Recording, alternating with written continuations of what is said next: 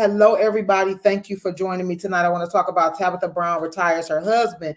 And so let's get right on into it. Um, so what happened? Uh, Wendy Williams said that she did the same thing for her husband, and look what happened. Things fell apart. He cheated on her. I guess he had a baby or something. I don't know. Whatever happened. And uh, Wendy Williams was like, that wasn't the right thing for her to do. Um, that it was gonna, you know, be a disaster. And several other people, however, weighed in and said that it wasn't the right thing to do because um, it emasculated him. So the title of this is emasculated or liberated because uh, people were saying that he, um, you know, he was emasculated by that because she was supposed to be, he's the man. In other words, he's the man and she shouldn't have had to retire him. So my thoughts. Okay, I'm going to give you four points and then I want to talk about what I think about this situation. So, first and foremost, Wendy Williams, your marriage may not have been founded on the same principles Okay. So just because something happened to you don't mean that it's gonna happen to her. Let's let's be clear. Um, it may not have been founded on the same principles. And furthermore, okay, furthermore, why would you speak about another person's marriage that way? Why would you speak that into the atmosphere? We have to be very careful what we say, especially when we're in pain. And maybe she feels like she's over it, but there's no way that you got over 20, 30 years or however long she was married worth of uh, uh, what you've gone through uh, in, in, in such a short amount of time. So sometimes we have to hush when we're in pain because the mouth, you know, uh, let me let me tell you what I mean. When you're in pain, the way that you hear and the way that you see changes your vision goes first. So the way that you see things changes. When you're hurt, when your heart is hurt, you see with offensive eyes. Okay. You hear with an offensive tone. You hear offensive. So you're listening for the offense. You're looking for the offense because you already wounded. And so it, it, it's really best that Wendy Williams not even speak on anybody's relationships right now until she gets healed because she's not going to see them the right way. She's not going to hear the right way. And I do understand that that's her business. I get it. That's the business that she's into, gossip and all of that. But it's not right to speak death to another person's situation because yours died. Okay? It's not right to speak death over her marriage. So pain changes the way that we see and hear things. And, you know, there are some things that Wendy Williams missed about this story. And I want to share them with you really quick. First of all, they moved to LA for Tabitha to become an actor. Okay, so this is coming from Tabitha Brown's story, and they were broke. And her husband took a job. Yes, Tab called it out. Her husband took a job, okay, um, with the LAPD, one of the most dangerous cities in the nation. He took that job and was at that job for 15 years, but their agreement was originally for five years. She told him, Give me five years and I will bring you up out of there. Well, five years and passed, another five years and passed, and he go another five years, and he stayed there to take care of his family as a man should have done. Okay, I don't know if he should have been there, but he definitely should have taken care of his family according to what a man should have done. Now, um, 15 years later, and 15 years worth of bulletproof vest suit ups. Okay. He wasn't working uh, in a cushiony office. 15 years worth of bulletproof vest suit ups. You hear me? God blessed her vision to come to pass and she stuck to her promise. Now, I want to give you four points tonight that I'm going to get out your way. So, first and foremost, there are a few things from a relationship perspective that I want to talk about. And thank you guys for joining me. Number one, relationships are about purpose, not profits. Relationships are about purpose, not profit. Okay. Now, purpose brings peace, power, and profits. But hear, hear me clearly. Relationships are not about per, uh, profits. They're about purpose. That's why we got to choose wisely. Okay. And many of us do not choose for purpose. Many of us don't even choose for personality. Many of us don't even choose for peace. We want peace, but we don't choose for peace, which is why divorce is high. Because once we realize we can't get no peace with them, we want to move on to the next one. Okay. Because you're getting on my nerve. All right. But many of us choose for popularity, for profits, and for pretentious reasons. Then, when that gets us nowhere, we're bitter and resentful. We're bitter and resentful. Yeah. So she pulled her husband from that job to do the thing that his heart desires, not to sit on the couch to play video games, not to be a bum, not to go frequent the nightclubs and all of that. She pulled her husband out of there to do what his heart desires. That's very important. It's very important. So let's move to number two. You can't say that you love someone if you are daily living your dream while they're daily living their nightmare and you had the power to change it and don't. I'm gonna say that again for the people in the back, or as my TikTok family say, for the people under the stairs.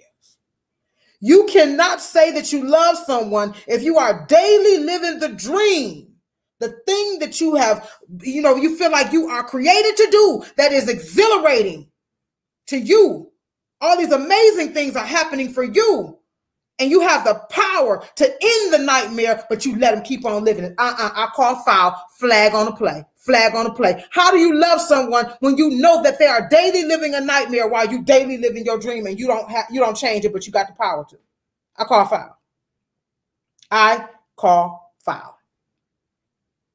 See, I don't know how he felt about the job personally, but just knowing that you got to wear a bulletproof vest and put your life on the line daily and by your own admission, that's not the thing that you you feel God created you to do. It can't be a dream.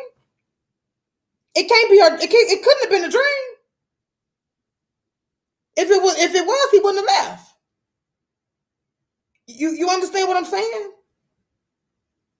By his own admission, that's not what he was he felt like he was created to do. So every day he put that bulletproof vest on, not knowing if he was going to return home to his family. That's a nightmare. And so there's no way that you can live your dream and be twirling in front of this camera. Twirling in front of this camera, living your living your best life. But he he's living a nightmare. But you say you love him and you have the power to bring him up out of there, and you don't. I call foul. I call foul. Do you understand that even let's, let's let me tell you something. Do you understand that even the most dedicated and supportive spouse would eventually resent you in those situations? How many days do you think he was going to keep on suiting up while she was twirling in front of that camera saying, "Hey, how y'all doing?" He over there looking at her like, "What you mean? How we doing?" Even the most supportive spouse would eventually begin to be resentful. Why? Because you live in a dream and I'm over here suiting up. Where's the love? Where's the support? What happened to the agreement we had? Remember, she's feeling exhilarating. She's these are amazing things that are happening for her. She got a contract for seasoning that's getting ready to come out. She she got she got uh, some some some jobs acting lined up. She got checks coming from all different types of ways. Meanwhile, he going to risk his life every day. You can't say you love me and you have the power to change my situation and you don't, and you know my situation is terrible and life threatening. We are not what we do once, we're what we repeatedly do. So you can't keep on saying you love me, but I see you never, ever, ever changing anything about me or you to make things better for us. You see what I'm saying? Someone said, I hate how sometimes folks take the human out of relationships. Absolutely. Absolutely. So, so I, I, hear me clearly. Even the even the most lovey-dovey couple, after a while, somebody gonna look at somebody cockeyed because okay, look here now. I done been up. I done went 15 years, three times what you told me we was gonna do. And now you got checks on checks on checks, racks on racks on racks, as the kids say, and, and you ain't brought me up out of here yet. Come on now. Ain't no way mine would have kept going up in there if I could afford to bring him out of there. Because number one, I'm a woman of my word and I'm going to honor the agreement. And number two, if there was no agreement, I'm going to honor my husband. I'm going to honor my man, my king. I said, I love you. I said, I got you, baby. I got you, baby. I got us, baby. I got you, and baby, I got us. Because ain't no way man finna be up in there risking his life when I have the power to bring him up out of there to do the thing that he loves. Because remember what I told you. Remember what I told you relationships are about purpose. Purpose comes with peace, power, and profits. Understand that when he come up out of there, he do the thing that he loves to do. Guess what's gonna come? More money, more peace, more power. Ain't no way. Mine ain't mine wouldn't have been suiting up another day. unless he chose to. Now, if he chose to, baby, we gotta have a conversation. Because now your pride getting the best of you, which moves me to number three.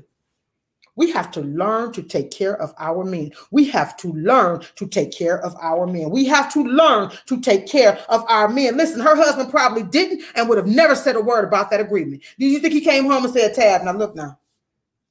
It's been five years. You suck at acting, so you got to do something else. You know, you, you got to do something else. She never said that he, he, he discouraged her. He just kept going to that place. He just kept going to that place and he kept providing for them and he kept bringing home them benefits and he kept doing it even though it was tough. It's been some, tough times for police officers for a long time, not just the last couple of years. It's been a tough ride and he's been there 15 years. He probably didn't say a word. She said five years, he gave 15 and didn't discourage her.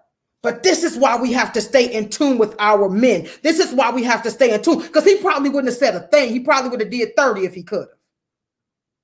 He probably would have did 30 if it was necessary. He wouldn't have said a word. But she knew.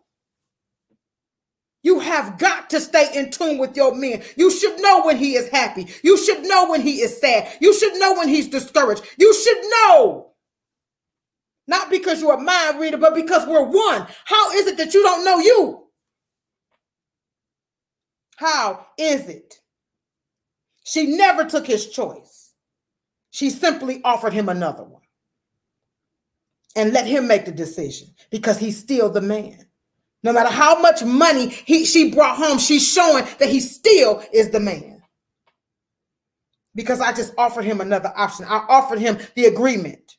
But we have got to stay in tune with our men because sometimes they pride get in the way and they won't say anything. But we're supposed to help them. And how can we be a help meet? Now I believe in help meets. If you don't believe in it, that's okay. But I believe how you how are you going to be a helpmate? How can you be a help meet, helpmate, whatever you want to call it? How when you don't understand what the current situation requires? How? How can we be helpmates when we don't know what the current situation requires because we didn't stay in tune? No, we're not mind readers. But sometimes they won't tell us. But in this instance, he shouldn't have had to tell her. You know why? Because they had an agreement. And like she said, he, he already had a nonprofit, but he couldn't focus fully on it because of the job but he probably wasn't going to leave the job simply because he wanted to make sure they were straight. And she was telling him, We straight. We straight. Okay, we, we we absolutely straight. Sometimes they won't tell us though. So going back to Wendy Williams' statement, here's the thing: he already went first. See, let me tell you something. Many of us have a hard time going first and being there for the guy supporting him because you know he might dip after we done went first. And I understand because in a lot of cases it does happen that way. We we we we, we ride for them, we there for them, and then all of a sudden when, when they get on, they like, okay, um, thanks. Okay, bye. I understand. I get it. I get it. I totally get it. But here's the thing: he went first. He rode for her first. He went first. So even if he does act a full-blown fool, he worked for 15 years at one of the most dangerous police departments ever while she pursued her dream. He already went first. Where is the danger in honoring your commitment? She ain't got nothing to lose. Nothing to lose. But as his wife, it is her job to help him as a helpmate get to the next level. Because again relationships are about purpose and he deserves to feel the same freedom and the same peace that she's gotten from finding the thing that she was created to do too. See it's amazing how we'll flip the script when it's a man. Oh he don't deserve all that uh-uh. but when it's a woman she deserves it all. See if this was flip-flopped and it was an nba player who had got drafted and had got millions and he didn't honor his commitment, he'd be a dog. But here's Tabitha, who's got millions, and she honored her commitment and she's wrong and stupid. I call foul. And here's the thing it's okay to take care of our men. Men is the operative word. Men. It is okay to take care of our men because take care of does not always mean financial. It doesn't. It doesn't. Take care of means provision, and we can provide peace because they need it. We can provide respect because they require it. And we can provide the option, option or the opportunity for them to be vulnerable because they need that too. Our men are carrying too much on their hearts. They're carrying too much. And if you are not with somebody that you feel deserve these things, then the million dollar question, sis, is why you with them? Why you with them? Because most men would rather you, you know, they would rather you give them respect and love any day. Most men would rather you give them, if they had to choose between respect and love, most men would rather have respect because they feel like love will come, but respect me first. So, so the million dollar question is: If you're not with a man that you feel deserves the opportunity to be vulnerable, who deserves peace or who deserves respect, the million dollar question, sis, is why are you with him? Why are you with him? So, so here's the thing: stop choosing guys that you don't respect or can't respect. Stop choosing guys that you would not protect. Sometimes we have to protect our men from their own pride. Okay? Stop choosing men that you cannot protect. And I'm not talking about in a dark alley, I'm talking about from themselves. And, and, and sis, heal. Heal so that you will welcome the opportunity for him to be vulnerable so that you welcome the opportunity for him. You, you appreciate him being vulnerable to you. Heal so that you appreciate his vulnerability and not see it as a weakness. Because the only reason why you see it as a weakness is because you're in competition with him. See, when you're in competition for the top spot and somebody show weakness, you you, you expose it. You expose it, don't you? Ah, look at them, they weak. Ah, they can't run as fast as me. Ah, they can't do it like me. And so when the man comes to you and he's vulnerable, when you have been in competition with him for that top spot, you throw that weakness back up in his face. You you you you you call him a punk, or you you can no longer you talk to him any kind of way. Now, I'm not talking about the one. I ain't talking about nobody who crying every day. I ain't talking about that. now. that, that's not what I'm talking about. But I'm talking about somebody who bears his soul to you.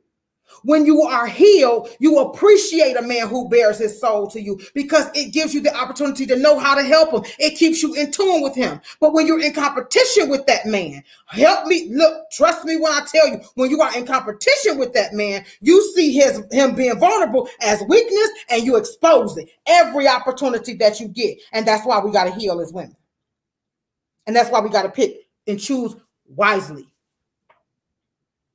Because let me tell you something. Oftentimes we want our men to open up to us. Oftentimes we want our men to talk to us. And you know why they don't talk to us? Because they don't sense us being anything other than competition. And let me tell you something that men don't do. They don't expose themselves to competition. So if he sees you as competing with him for the top spot, he ain't finna talk to you and tell you nothing. If he stay.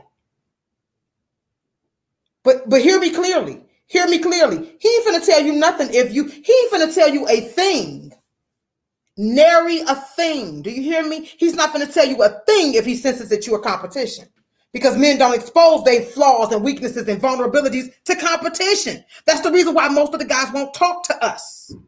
Most men won't talk to us because they see us as competition as opposed to somebody who loves. And definitely somebody who respects. Because let me tell you something respect and love, when it is, is present, competition can't abide. Not in a relationship. It can't. Men do not confide in their competition. Many of them are carrying so much in their minds and hearts that they're ready to release, but they're only going to release when their heart feels it's safe. And when they believe that love abides and that love and, and, and, and, and respect abides. Hear me clearly. He ain't finna talk to you if you his competition. He ain't finna talk to you if he got to be in competition with who the toughest, who the hardest, who the roughest.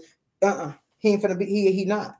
So we have to heal so that we welcome the opportunity for them to be vulnerable so that we can be a better helpmate so that we know how to help him in the current situation and we know what it requires even when his even when his pride don't allow him to speak. So if it's a fight on who's the head, who's the hardest and who's the toughest, getting him to release will be will most likely be harder than hugging an alligator without getting bit. Trust me when I tell you. And let's move on to the last one for the night, number four. Many of the same people that was screaming that she emasculated him are the same people that was in the movie theaters back in 1996 yelling and screaming that Bernie was right when she burnt up her husband's clothes and waiting to exhale. And that's what I have a problem with. Because when they was talking about 11 years out of my life, besides the kids I have nothing to show, they was saying he did her wrong because he got on, he got on, and then left her for another woman. But now those same people opening up their mouths to say she emasculated him. No, no, no, no, no. It's the same thing. It's just a gender change. And how dare we, the same people who hate, who hate uh, uh, double standards. We can't stand double standards because they always land in the favor of the man. How dare we now have a double standard? I'm calling foul. I call foul. I call foul.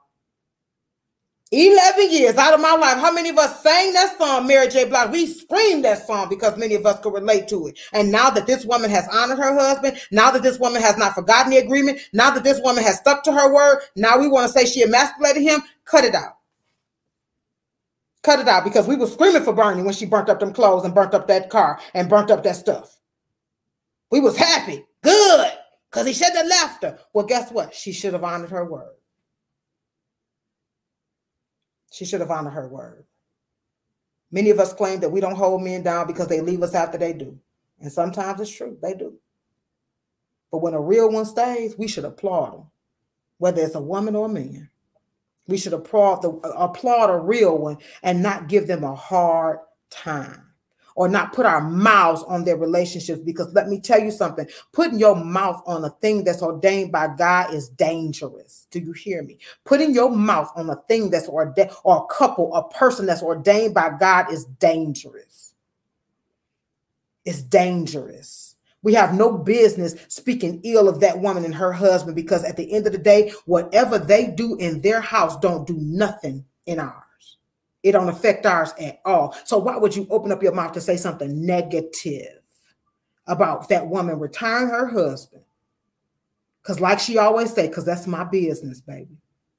That's her business. Like so, like that. Okay, that's her business, like so, like that. At the end of the day, he, she didn't ask me for $50 to retire that man. So, why is it that we have such strong? Why? We just hating and we just miserable. And many of us just need to get healed. And let me tell you what healing starts with it starts with breaking curses and cutting ties. You won't get around it. You won't get around it breaking curses and cutting ties until you break the curses over your life and the things that you have come into agreement with, and until you cut the ties that have you bound to the thing that you swear you're trying to get away with, away from. Believe me, you won't get healed. You won't. And there's too many of us trying to take shortcuts, and shortcuts lead to setbacks. So I'm gonna say it again for the people that's always in the back row, the back back row, the back back back row, until you cut the ties that have you tied to the thing and the person that you swear you're trying to get away from. And until you break the curses of the things that's over you, that's been spoken over you, that's been poured into you, you will not heal. There's no way around it. You have to go through it. And it will be one of the best and most liberating things that you've done because it's going to help you see things differently. And it's going to help you hear things differently because right now, many of us are seeing through the eyes of offense and hearing with, with offense. So we're ready. We're ready to pop off, to go off, to go on. We we bragging out here about being, we go from zero, I go from zero to 100 in 10 minutes. We're bragging about it. Our daughters are bragging about popping off and going off and all of that. And they beautiful girls and they shapely girls and they got all of this going on for them, but their attitudes are filthy, funky, and foul. And as a result, don't nobody want to be bothered with because we have poured into them and told them that it's all right to pop off. But the truth is, it's really our hearts aching. And we gotta do something about this. Hear me clearly when I say this, ladies. Understand that Tabitha Brown's gestures were honorable. And if looking at that act alone, if we look at just that act, I'm not talking about that relationship because I ain't in that, but I'm talking about if you just look at that act alone, it's more likely that that act alone will keep their fire burning. That act alone, her liberating him, not emasculating him, but her liberating him to do the very thing that his heart desires will bring them closer. It will increase the loyalty. It will keep the fire burning because she ain't change up on him like so many do. It will do that as opposed to bringing shame of emasculation. So again, I don't care how big a person's platform is, that don't make them right. You hear me? I don't care how big a person's platform is, it does not make them right. And so at the end of the day, Wendy Williams is hurt. She's hurt Bay. She's hurt Bay right now. And unfortunately, she's using her platform to further further spew out hurt because it's a lot of people that's going to eat from her plate. But hear me clearly that this is the reason why so many men are intimidated by women in power because they change up and start to compete with their men instead of honoring them. I don't care how much money I have. I, I cannot have a weak man because I have to have somebody who understands what I do and why. But but in return, in return, I will honor him. So I have to have somebody that I can respect. I can't respect weakness and foolishness. So I don't settle. I don't settle for it. I nip it in the bud quickly. When it comes to dating, ladies, hire slow, fire fast. You hear me?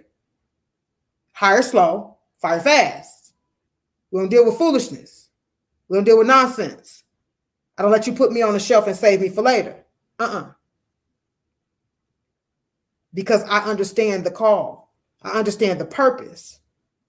And I have to have somebody who, un- who understands it too. But in return for that, I will not be sitting around talking about I'm I N D E. No, no, no, no. Sure, I'm independent, but I'm not independent of my marriage. I'm not independent of my relationship. I'm not independent of my commitment. We have to understand what we're independent of. We have to understand what independence means when we merge with someone. And we have to make sure that we define it in a way that's conducive to both of us being honored in the relationship. And that's what I believe Miss Tabitha Brown has done. So say what you will, disagree if you must, but hear me clearly when I say we got to cut out the disorder and the, and, and the foolishness and keep our mouth off of God's people and their business, especially when we hurt Bay we need to go somewhere and get healed and get some get some counseling and hush before we fool around and and they pray and send it back to us. Then what you gonna do? Because now the curse you spoke over them, they just they done prayed and sent it back to you. Now you got to deal with the curse you spewed out of your mouth. See, some of us don't understand how this works. But instead of spewing hate, let us pray for them. Let us pray that they that that that they, they work out instead of us spewing hate because we mad because ours didn't. So that's what I had to come and release today. That Tabitha Brown did what was honorable. And I truly believe that it was honorable in the sight of God. She honored her commitment. And I truly believe, truly believe that that will bring her and her husband closer together instead of emasculating him and tearing them apart. So if this has been good to you, I hope you share this. I love you guys so very much. We, yes, she is always giving God glory. Always, always giving God glory. And that is amazing to me you know and that's that's my thing too is god when they say my name i'll say yours. Okay? When they say my name i'll say yours. But our daughters cannot continue to be beautiful on the outside. We take them to get their hair laid. They know how to get their hair laid. They know how to put them clothes on. But sugar baby when they open up their mouth all you hear is hurt bay all you hear is hurt bay because daddy didn't hurt him, first love didn't tow him out the frame, mama didn't disappointed him. So all you hear is hurt. Our daughters need to be just as beautiful inside as outside, and we need to invest in them healing just like we invest in them clothes. We Gucci and gold them down, but we never ever really hold them down by getting them the healing that they need inside. So I love you. If please share this because way too many of us are eating off the wrong plate. Don't forget to go to bit.ly forward slash ZM uh, link tree to get whatever you need. Okay, that's where all my resource, uh, my relationship resources are. I love you guys so very much, and I want you to have a great evening. Now you already know how. On purpose. God bless you.